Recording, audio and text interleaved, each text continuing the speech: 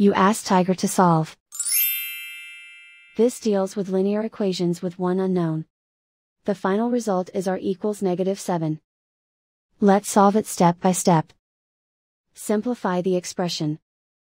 Expand the parentheses. Group all constants on the right side of the equation. Add 9 to both sides.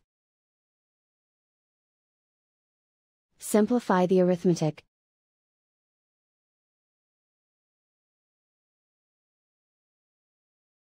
Convert the r into a positive number.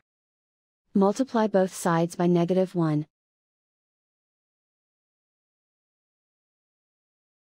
Remove the ones. Simplify the arithmetic. And so the final result is r equals negative 7.